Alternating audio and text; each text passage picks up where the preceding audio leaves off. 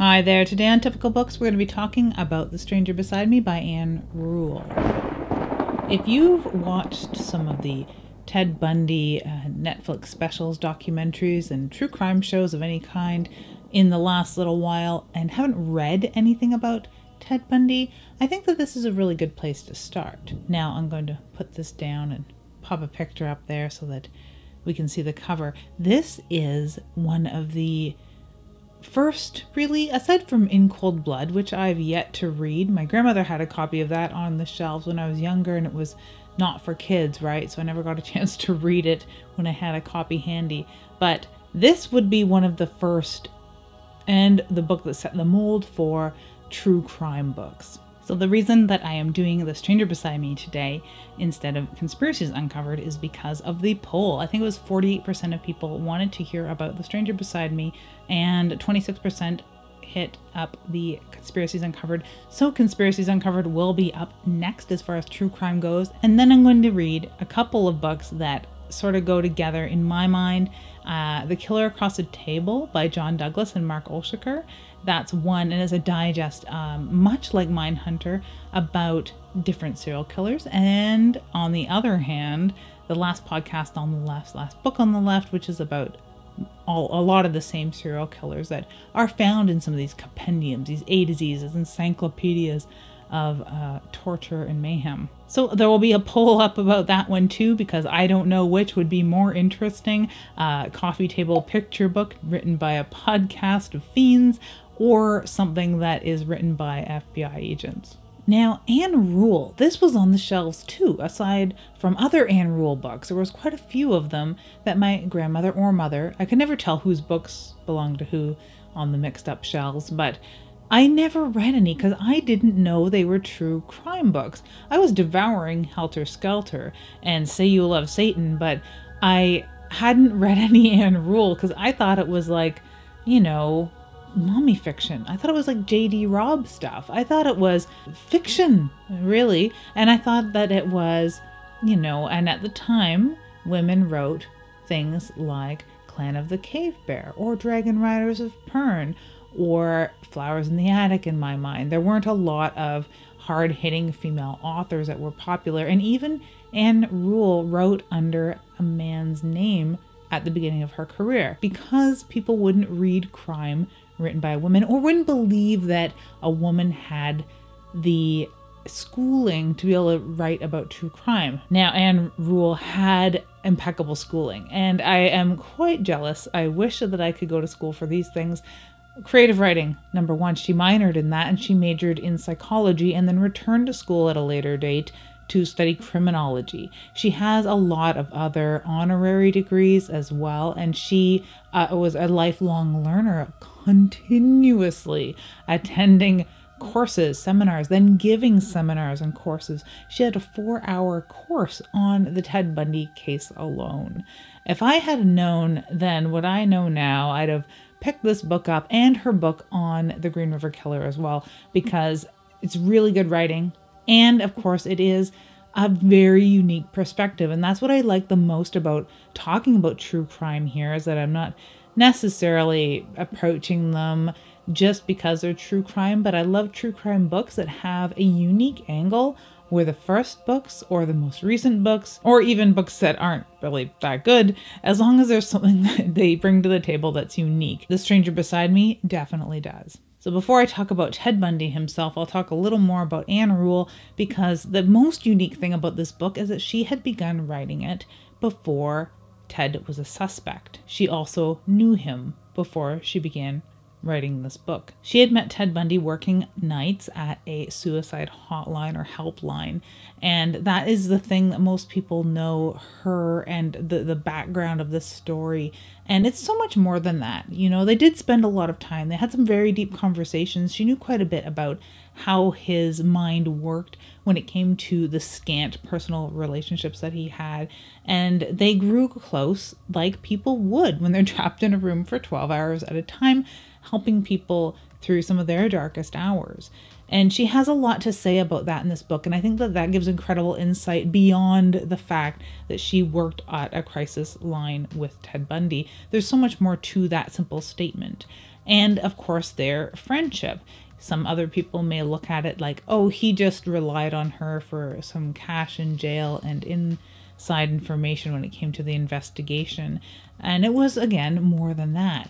The letters that he wrote, he may have just been lonely or he may have been grandstanding, but it gave him someone to talk to for real. Someone that knew him and didn't know him from a headline, weren't fast fair weather friends like some of the people that wrote him, I'm sure, but someone that genuinely knew him perhaps more than any of his girlfriends or family ever did. She doesn't go into every single letter she ever received from him or every single thing in detail. Some of it's fuzzy because up until a certain point, no one knew they needed to categorize and catalog every single interaction they had with Ted. There came a point after the murders began that uh, Ted was a suspect, and Ann herself didn't believe it and she held on to a certain amount of disbelief up until a certain point in his later trials. Another thing I found fascinating about this book is that it's been updated relentlessly. Of course, Ann had passed away, but before then, she had ample opportunities to update this book as new information became available, or her attitude changed about it, or just to update the book considering his legacy afterward. Legacy is such a shitty word to use for a guy like this, isn't it? People often stumble with the word fan when they say, I'm a Ted Bundy fan. Uh, I'm, I'm a Ted Bundy what? You're a Ted Bundy ologist? Like a ripperologist? They're not Jack Ripper fans. They have a word for that. Is there another word for people who aren't psychologists or criminologists that have this armchair fascination? Let me know in the comments below if you have a better word than fan when it comes to this stuff. So this was written in 1980, not long after the initial arrest and trial and uh, it was updated again in 1986 and afterward, and a 20th anniversary afterward in 2000, then a final chapter in 2009, and then of course this ebook came out in 2018 and i really do recommend it. It is it is the full story. This is as full as the stranger beside me is ever going to get right? So it is uh, a really well constructed ebook as well. And i think this is one i might pick up in paper someday when i want to flesh out my serial killer and true crime collection. Now, no doubt a lot of people know about the crimes of Ted Bundy. He uh, apparently is one of the most prolific. You know, he may not have the highest body count, to be crass about that, and he may not be the most controversial in terms of his socio political outlooks or standings, but there is something uh, insidious and creepy about him. I think one thing that is touched on very much later in one of the afterwards of this book that I dislike the most about the, the fandom of Ted Bundy is people tend to forget that he really was a deplorable person. Aside from, yes, he was a serial killer.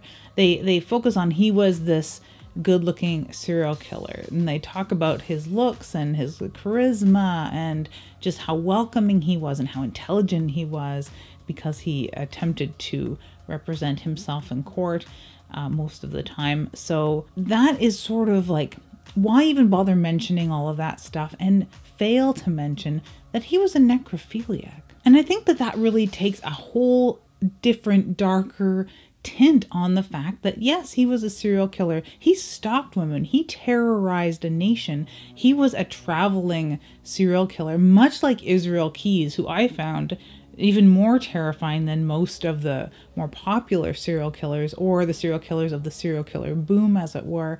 But Ted Bundy really, really broke the mold with that because he killed across country, and they're not sure that they have attributed every single death at his hands to him, right? So insidious, but it was darker and I think more devious than that, and up there with like Green River Killer or Albert Fish or other really sadistic and, and torturous, horrible necrophiles. Uh, that sort of portion of the murders gets sort of brushed under the carpet, and it's something that I've always really found even more disturbing is that uh, you can have an entire Netflix documentary that doesn't even mention that. You can have a uh, made for TV type film that stars a very uh, charismatic, good looking actor in place of Ted Bundy, and not mention the really sick shit that this guy was doing. Theodore Robert Bundy was an American serial killer who kidnapped, raped, and murdered numerous young women and girls during the 1970s and possibly earlier. He eventually confessed to 30 homicides across seven states between 1974 and 1978. Bundy would typically approach his victims in public places feigning injury or disability before knocking them unconscious and taking them to secluded locations to rape and strangle them. He sometimes revisited his victims, grooming and performing sexual acts with the decomposing corpses until putrefaction and destruction by wild animals made any further interactions impossible. He decapitated at least 12 victims and kept some of the severed heads as mementos in his apartment. On a few occasions, he broke into dwellings at night and bludgeoned his victims as they slept. The bludgeoning is really the bookend of the Ted Bundy murder spree. And it is a long spree, especially because he may have committed murders as young as the age, I believe, of 13, but they haven't really proven that. And he was such a liar and such a, a slippery snake when he was being interviewed uh, all of the time. There is not one interview that contains 100% truth. I'm convinced of that. There's no way he would have admitted to that. And there's a lot of stuff he didn't admit to, or a lot of stuff that he blamed on other things. His first murders that we know of for sure that are traced to him began with bludgeoning, breaking in and bludgeoning at night. It's a home invasion to sleeping people who never wake up. Flash forward through several years of unchecked insanity until he does pretty much the same thing of breaking into a place and bludgeoning people in their sleep at the Chi Omega sorority, or Chi Omega, depending on how you want to pronounce that. And it's the same sort of MO from the beginning when he is learning what works and what doesn't, as far as his needs and his addictions as a killer. And at the very end, when he is going into what many call berserker mode, when he is uh, really unhinged and uh, suffering bloodlust. So he's doing like the same sort of things, He's breaking in and bludgeoning. So I'm glad that they mention that in the Wikipedia right off the top. And I'm glad that they mention his necrophilic and they don't say it in as many words, but the gussying up, brushing, dressing and undressing, and putting makeup on some of the corpses that he was dealing with.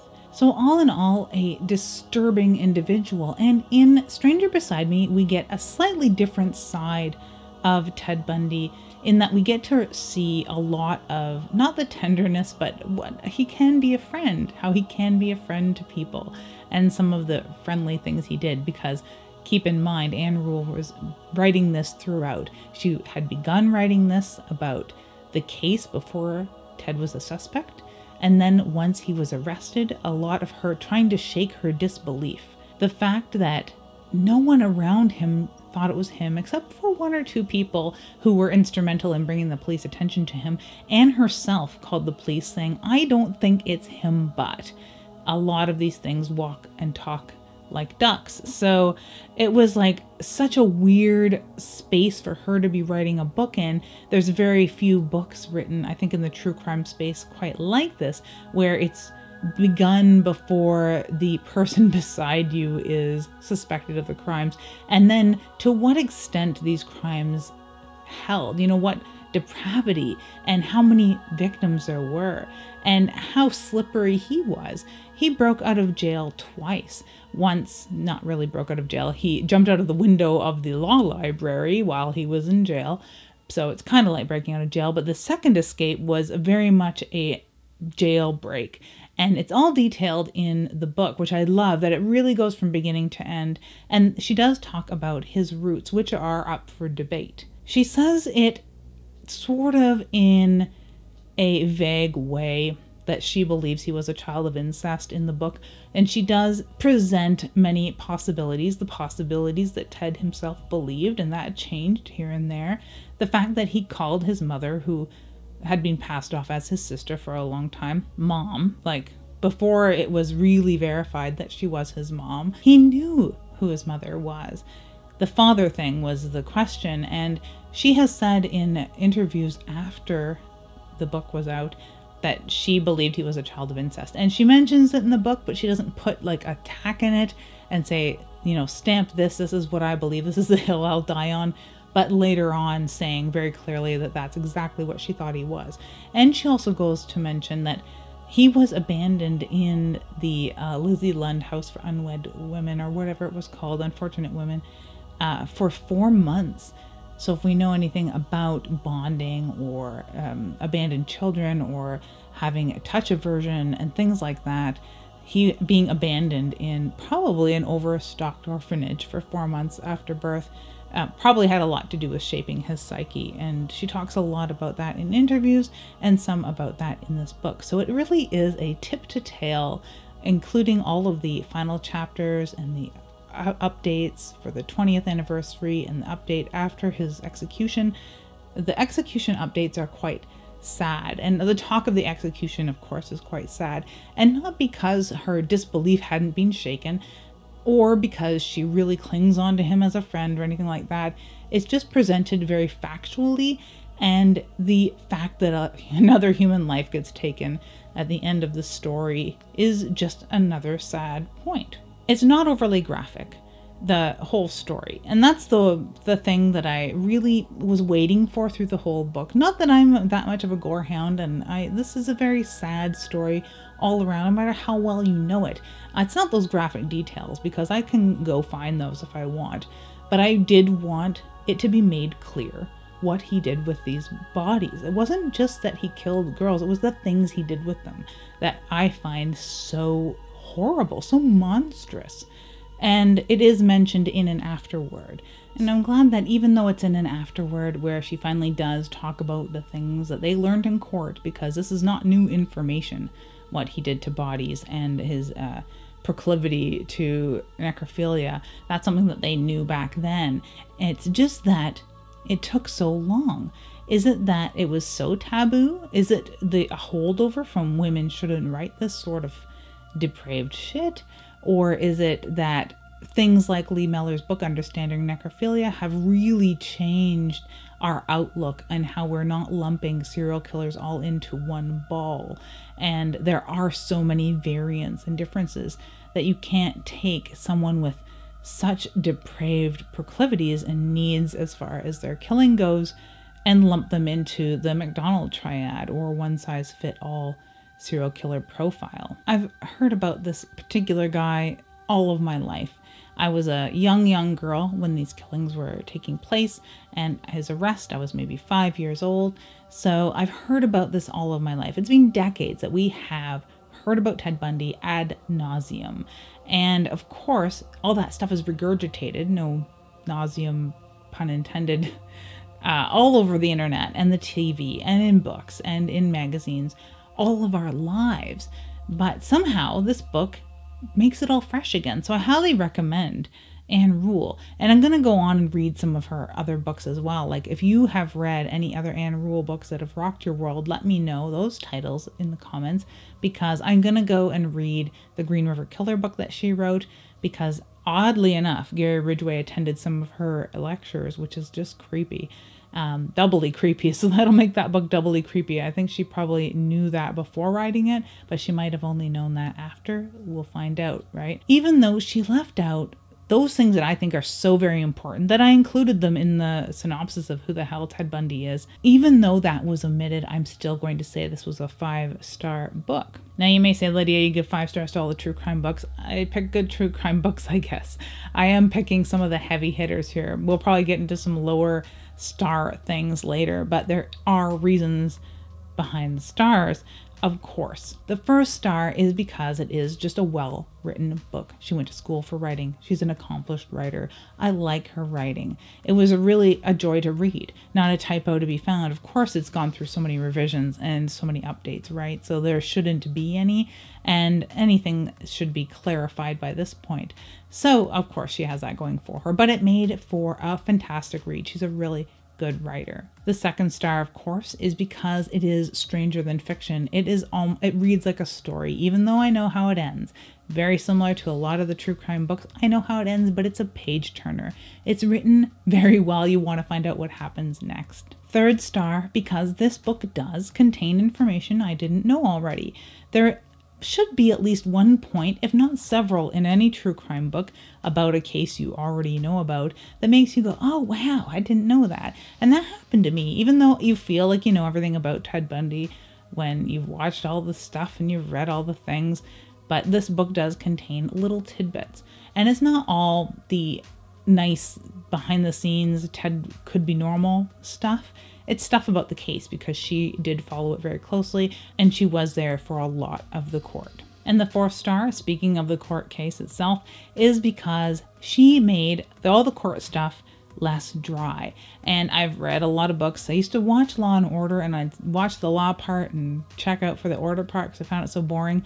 Uh, nothing I hate more than a boring court trial within a true crime book.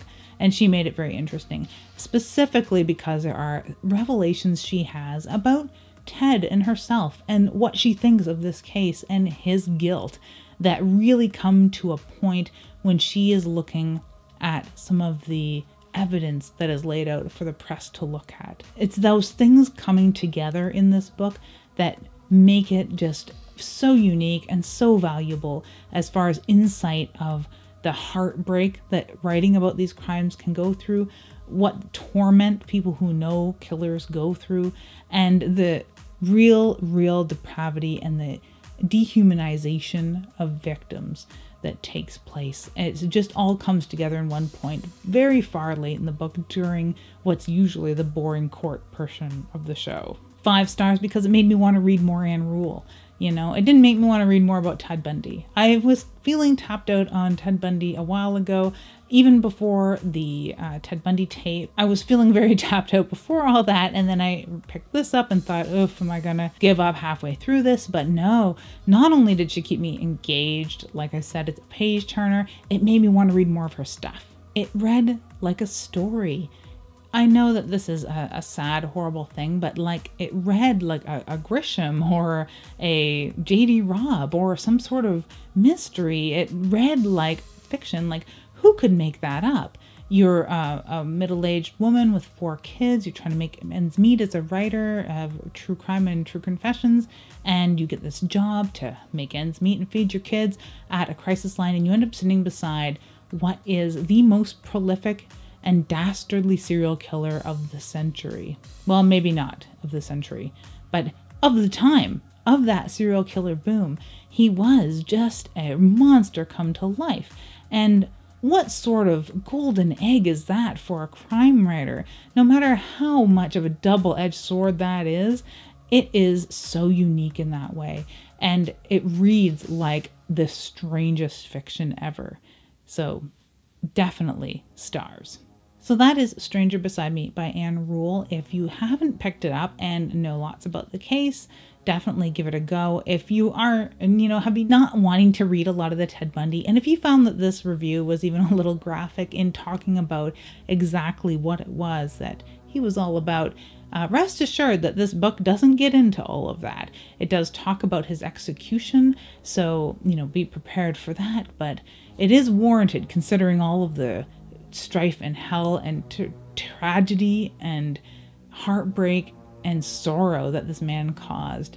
You know, it is, of course, warranted, but rest assured that this book is not lurid and it has no photos. I know that's something that I really like in books. There might be versions of this with photos, but this particular one did not have any, and I've seen them, thank you. I only had to take a moment to go and look at a photo of uh, Ted Bundy enraged in the courtroom uh, because she talks about just how he finally broke and show that face that uh, many of his victims must have seen. And I had to go and look at that photo again just to drive that paragraph home. But other than that, they're not really needed. So if you shy away from those, rest assured this book does not have any. But thank you ever so much for hanging out with me today. If you've read this, let me know. If there's other books that you think I ought to read, be it gruesome horror or gruesome true crime, definitely let me know in the comments below and make sure that you have a safe yet ooky spooky day.